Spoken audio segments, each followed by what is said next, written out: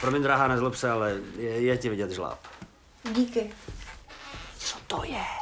Luďane, ty to nemůžeš říkat před ní. Počkej, ty vole. To mi tady podpálit, ty vole! Buznu ne, vole, to ne! Vole. Ty vole, Jaro, ty jsi ho zabil?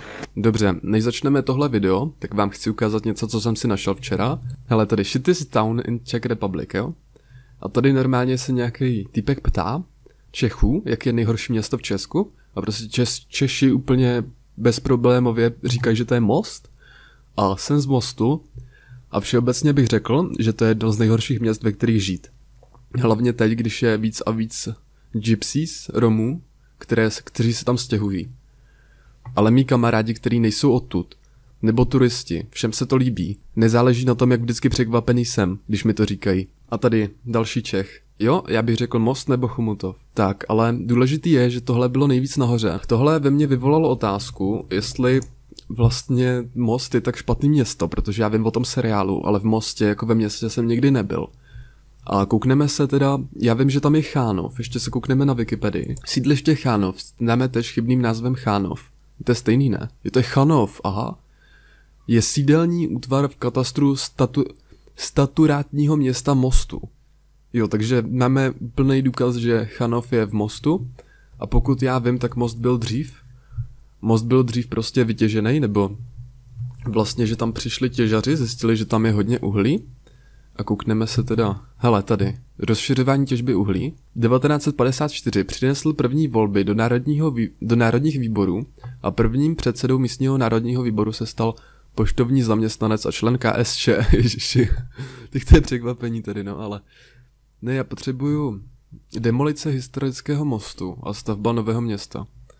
Jako já potřebuji najít nějaký důkaz o tom, že to tam uh, těžaři zničili, to město, protože, hele, Nové volby a tlak na růst těžby uhlí měly dopad na celkový další vývoj města. Za posledních 12 let se těžba zpětinásobila na hodnotu 50 milionů tun uhlí za rok.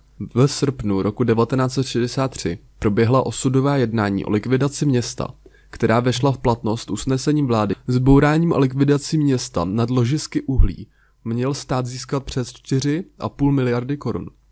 Dobře, takže máme důkaz toho, že to město bylo zničený, že vlastně to město zničili, aby se tam dělalo uhlí.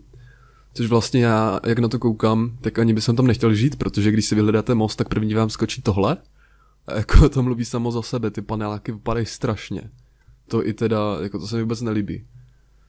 Nevadí. A teď se jdeme kouknout na byty, to mě taky hodně zajímá, ale dáme si Chánov, prodej byty. A když se kouknete na to, kolik stojí byty v Chánově, Hele, já nechci mapu. Hele, 180 tisíc. 3 plus 1 za 180 tisíc. Cena za metr čtvereční je 2609 korun českých. Hele, stav budovy dobrá, jo? Jakoby tady si nemyslím, že ten člověk říká pravdu. Sice jako tady ty tady ten pokoj se mi docela líbí. By to já nemůžu posoudit, jestli v dobrém stavu, ale musí být nějaký důvod, proč to stojí 180 tisíc ten byt 3 plus 1 za 340 tisíc a je tady úplně nová kuchyň prostě. A tady krásný pokoj. Ložnice v pohodě. Hele, byty 3 plus 1 na prodej Plzeň město. A tady žádných 180 tisíc, tady byt stojí 3 miliony 350 tisíc. 3 miliony bez 10 tisíc a tady nějaký horší možná za 2,5 milionu. Což teda, tady je krásný za 3 miliony, tady to vypadá jako dost dobrá obývací místnost, to se mi líbí hodně. Ale ještě se koukneme na most byty, jestli teda v Chanově jsou levnější než v, nějaký normální, v nějakým normálním úseku mostu. Jakože já nevím, jestli by v mostě vůbec někdo chtěl bydlet po tom videu, co se na to koukne. Hele, tady v mostu, jakoby v nějaký normální ulici, myslím, že to není to sídliště Chanov, tak tady stojí byt 650 tisíc. Tady teda 750, takže teoreticky v Mostě, čím dražší bude byt, tak tím dál bude od Chanova. To jsem vypozoroval od, z toho, jak tady na to koukám.